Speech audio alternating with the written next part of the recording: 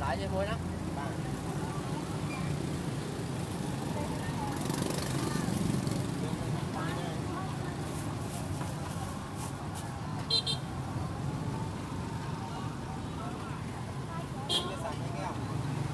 Mình